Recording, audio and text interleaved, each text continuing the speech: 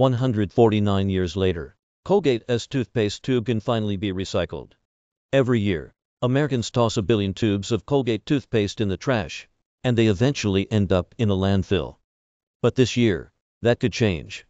Colgate's designers have spent more than five years redesigning the brand's toothpaste tubes, so they can be recycled in curbside bins. Starting in March, these new tubes will roll out across four of Colgate's most popular lines. The company expects every single tube in its portfolio to be recyclable in the United States in 2023 and globally in 2025. But the big question is whether consumers will be able to change their behavior and recycle their old tubes after decades of throwing them in the trash. Colgate, which was founded in 1873 and currently dominates 34% of the toothpaste market in the United States, helped invent the category of oral care.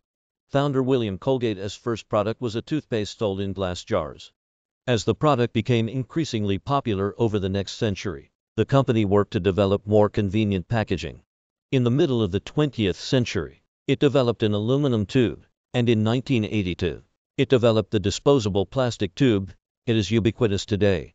The tubes were lighter and less expensive than the aluminum ones, and they were less likely to crack, says Greg Corra, Worldwide Director of Global Packaging and Sustainability at Colgate Palmolive. Colgate's parent company. Colgate's plastic tubes are made from a range of materials. They contain a thin layer of aluminum that keeps the toothpaste fresh and flavorful, and several different types of plastic. Most municipal recycling programs can't recycle products made from mixed materials. The design was focused on functionality rather than what would happen to the tube at the end of its life. Corra says, but in recent years, consumers have become increasingly aware that plastic pollution is destroying our planet. Since plastic was popularized in the early 1950s, 8.3 billion tons of it have been produced. Today, we generate 300 million tons of plastic waste every year. Only 9% of all plastic is recycled, while 12% is incinerated, a process that spews greenhouse gases into the atmosphere. The vast majority of this waste, 79%, ends up in landfills or the natural environment. Since plastic doesn't biodegrade, it simply disintegrates into small fragments called microplastics which can end up in our oceans, poisoning animals and humans. The cap, however, is made from a polyp rope. In most cases, customers will be able to throw the tube and the cap into the recycling bin.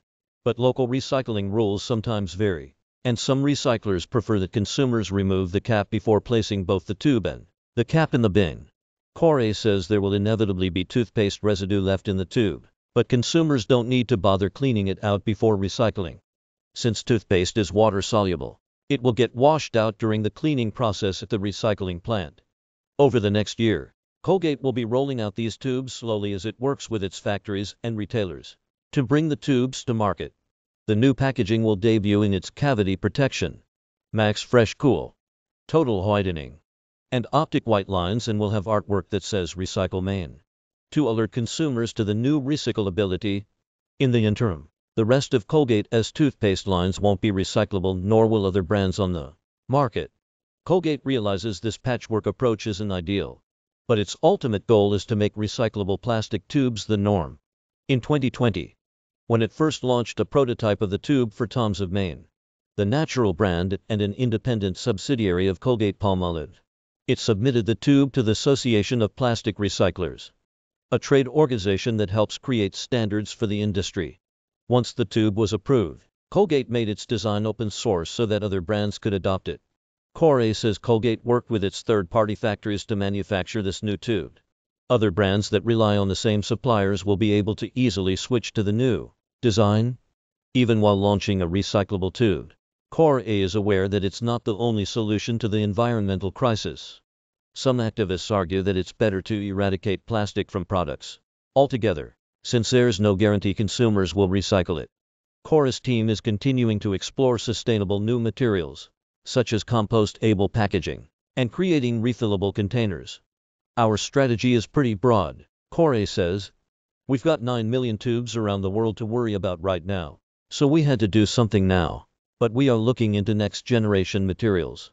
We've got several irons in the fire.